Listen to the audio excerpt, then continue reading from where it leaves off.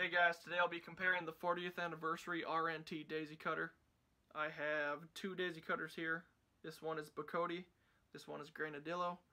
I'll do a little back and forth so you can get a sound difference between the two.